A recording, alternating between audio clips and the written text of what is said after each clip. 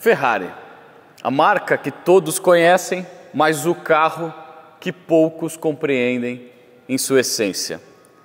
Falar sobre Ferrari hoje é falar sobre um carro extremamente potente, é falar sobre um carro extremamente duro e falar sobre um carro praticamente inutilizável nas condições das vias brasileiras. Esses são os preconceitos que geralmente escutamos quando estamos falando sobre Ferraris. E são esses os preconceitos que precisamos desmitificar se quisermos entender a relevância deste projeto, a Ferrari Portofino. Um carro que desafiou o meu próprio conceito sobre o que uma Ferrari pode ser.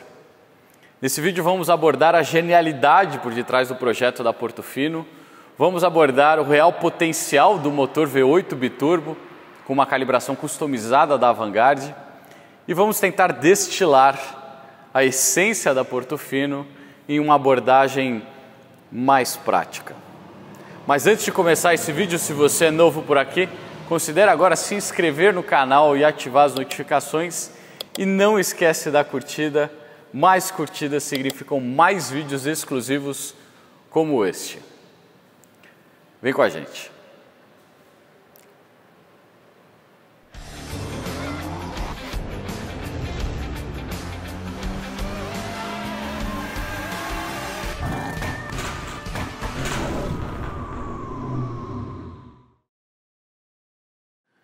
Então, com Portofino, a Ferrari continua um desafio que começou lá na Ferrari Califórnia de tentar unir e equilibrar três conceitos geralmente antagônicos em um único carro: esportividade, elegância e praticidade.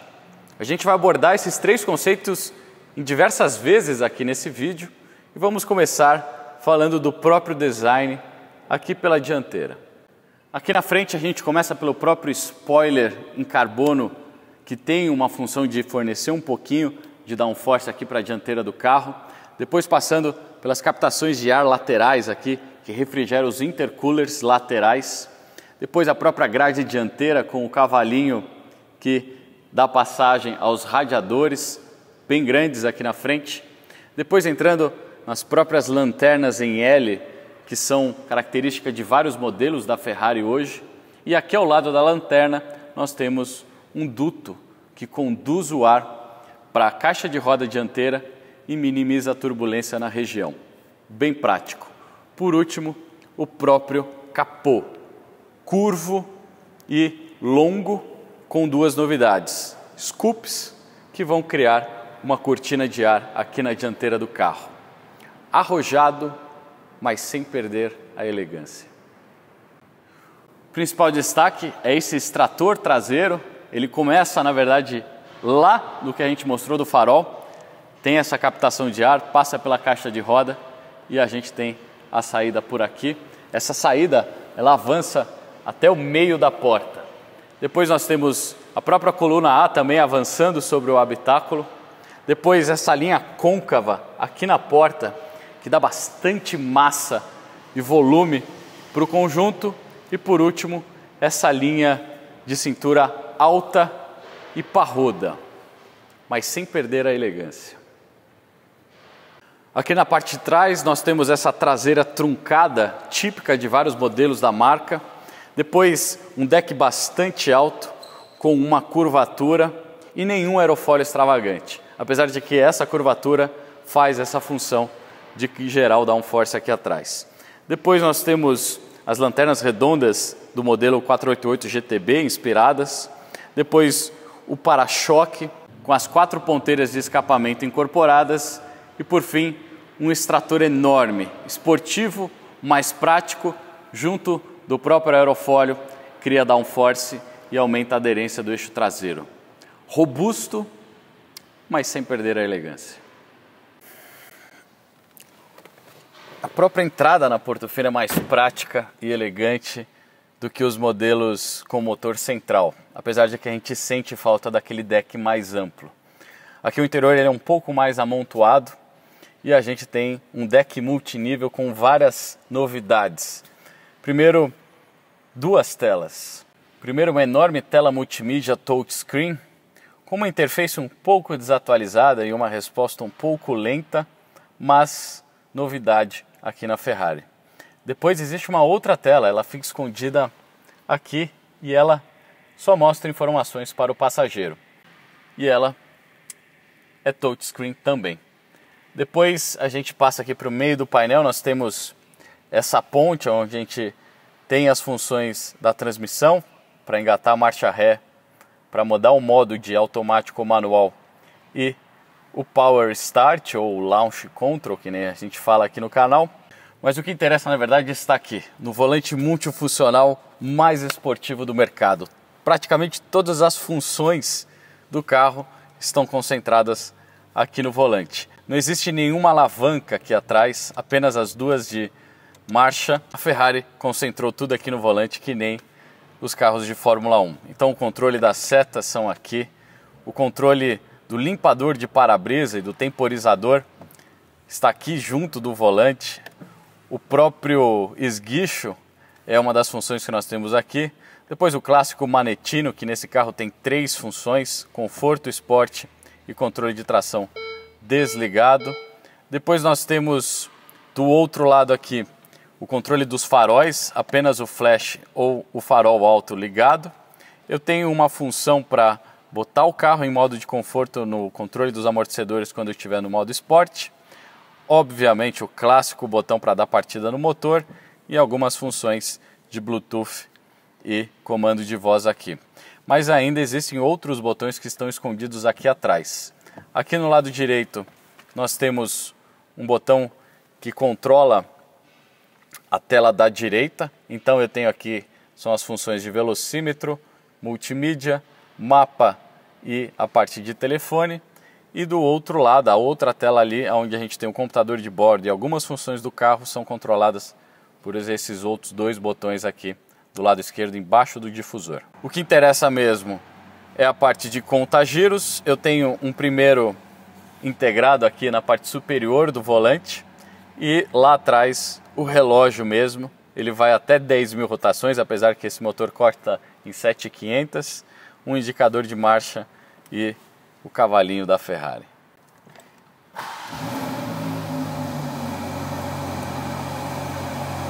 Vamos falar do motor agora. Aqui debaixo do capô, o esportivo e premiadíssimo F154. Um V8 com virabrequim plano, 3.9 litros, duas turbinas e injeção direta.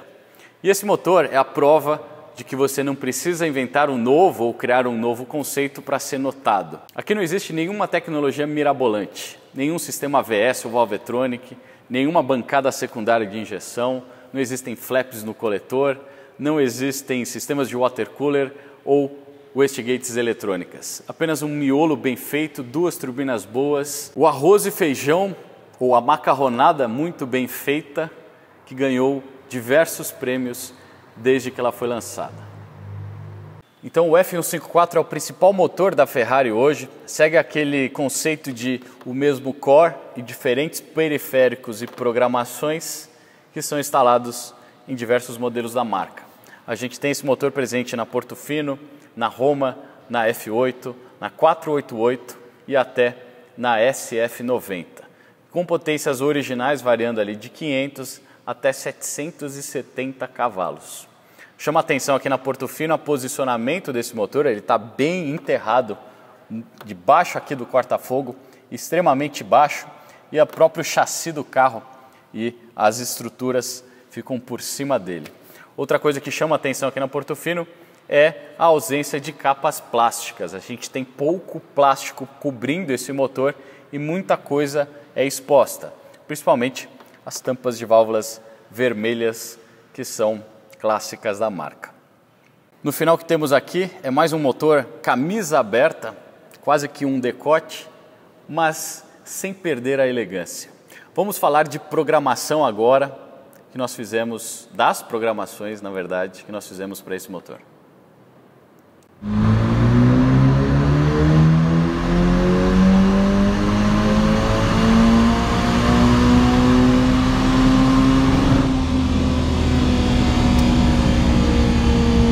Então, sendo o F154 um motor modular presente em diversos modelos da marca. Aqui na Portofino a esportividade está nos 600 cavalos de potência declarada.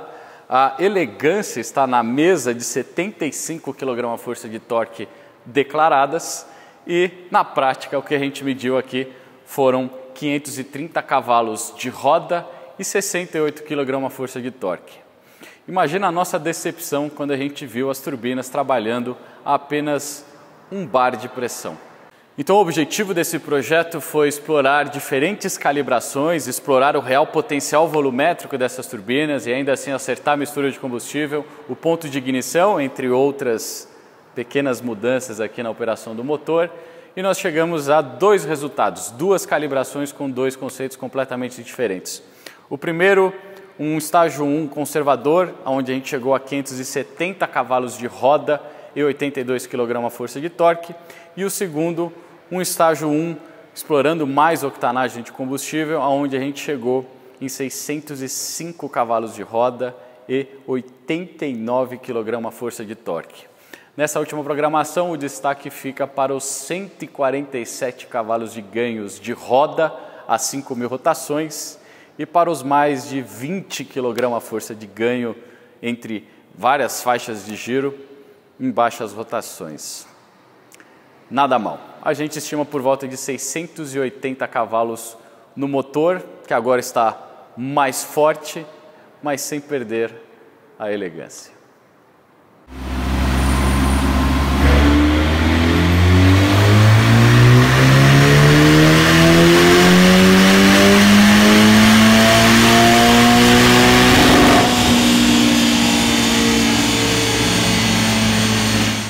Carro está extremamente forte, mas talvez a única decepção aqui do F154, desse novo motor, seja o ronco que sai aqui das ponteiras. Infelizmente, nós perdemos aquela essência daquele V8 Ferrari com virabrequim plano, do qual nós já vimos diversos exemplos aqui no canal, dicas de passagem, mas aqui esse ronco, essa experiência sensorial não é mais possível devido à instalação dos turbocompressores. Dizem que nunca mais nós vamos conseguir resgatar esse tipo de ronco.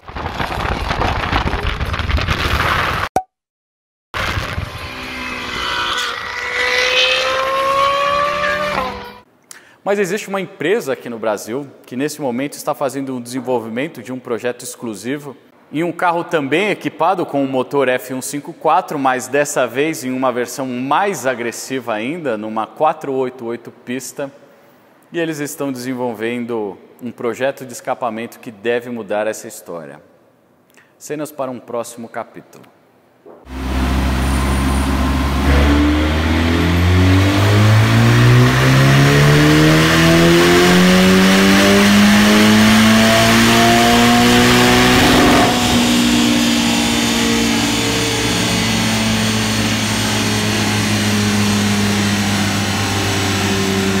que nem eu disse lá no início do vídeo, isso aqui foi um grande desafio para a Ferrari para unir três conceitos antagônicos em um mesmo carro. Esportividade, agora na verdade nós temos muito mais com 680 cavalos, elegância e na verdade aqui eu ainda não mostrei uma função desse carro. Dá uma olhada nisso.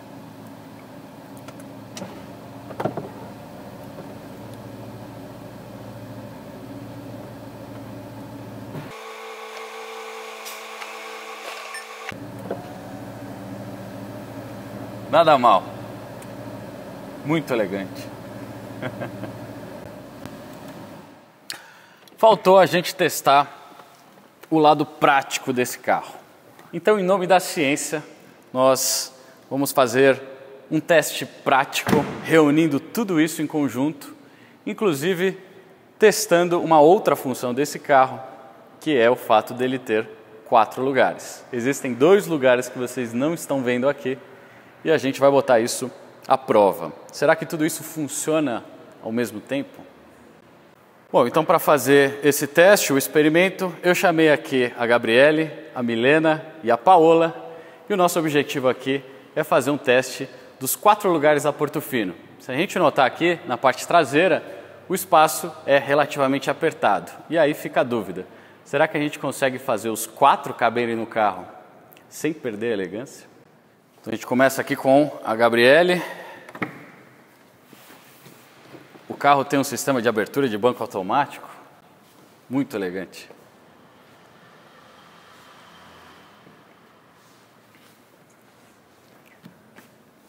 Vou fechar.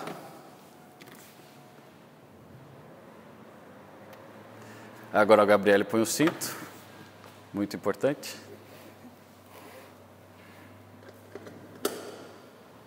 Deu certo? Deu.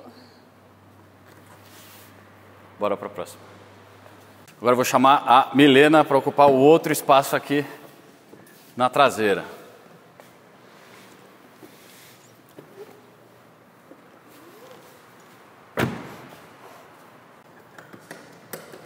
Botou o cinto. Coube? certo. Bom, e por último, a Paola.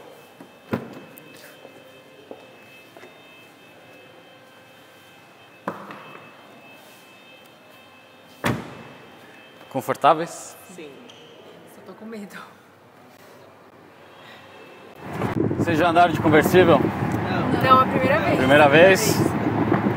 Em relação ao carro, acho que é um carro muito duro, um carro desconfortável ou não? É bem gostoso, bem confortável. Tá sendo legal até agora? Tá.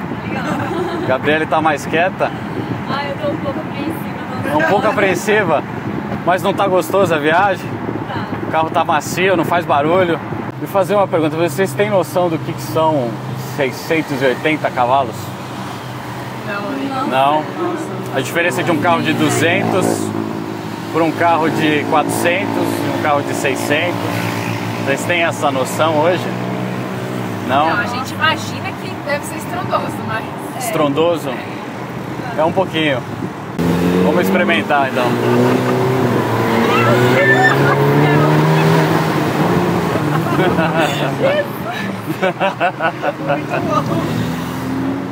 Isso não foi nada, na verdade.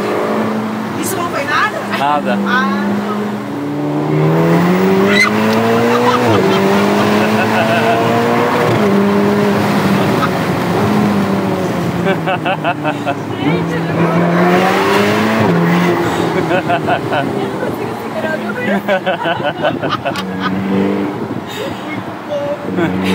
Olha, a Divertido? boca fica seca. Fica Bate seca a boca. vento. Então a ideia agora é dar uma explorada também nessa parte do chassi do carro. Aí quando a gente fala de chassi, a gente está falando de suspensão, de freio, que tem a ver com a resposta, com a dinâmica do carro.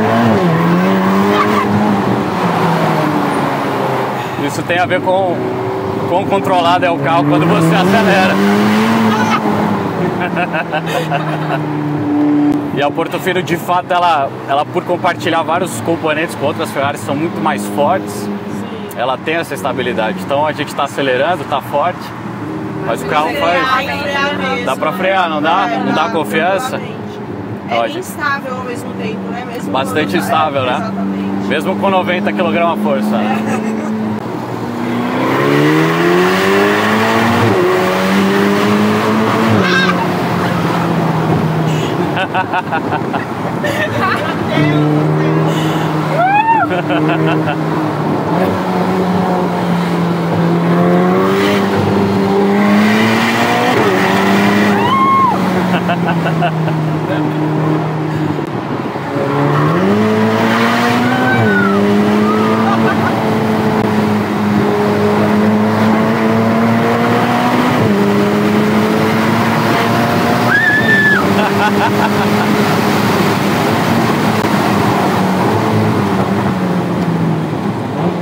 Gente, a minha alma ficou lá atrás.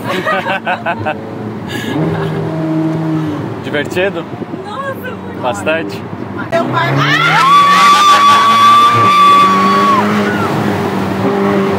Meu Deus do céu. É como ter um parque de diversão, meu. Você, porque É uma a montanha-russa. adrenalina É igual, exatamente. É legal, né? Muito bom. Parece que o som dele ainda assim não é tão. Não é alto. né? Estrondoso, tão né? alto, É. né? Eu acho Vocês acham que o som desse carro é mais baixo? Eu, É. Ele Eu acho. Não é muito intenso, assim. É, não é aquele som que incomoda. Ai, não é aquele som que irrita. Sabe quando você aquele carro correndo Som assim? que irrita. É, que irrita, assim, aquele barulho Muito assim. alto. É, no ouvido. É que quando eu, eu vejo assim, os vídeos da Ferrari, geralmente aquele som parece que tá no carro de Fórmula 1. Sim. Então, Esse aqui ele é mais tranquilo. É, e a gente realmente achou que ia ser um... A gente achou que Muito alto, né? estrondoso. Felizmente é uma das características desse carro aqui, essa parte do ronco mesmo, que podia ser um pouquinho melhor, talvez não tão alto, né? Fórmula 1 assim que incomoda, mas ele é baixo mesmo. Ah, você queria mais alto? Ah, sim. É um carro que dá pra você usar rotineiramente, mas também pra dar aquele close, né? Isso é exatamente a essência É desse a carro. dele. E Eu acho que você fechou o vídeo agora, Paula. Porque é exatamente esse carro. Esse carro ele tem potencial, mas ao mesmo tempo você pode usar ele no dia a dia. Ele não incomoda, ele não é baixo, ele não bate, tá confortável. Mas se você quiser. Dá pra se divertir também.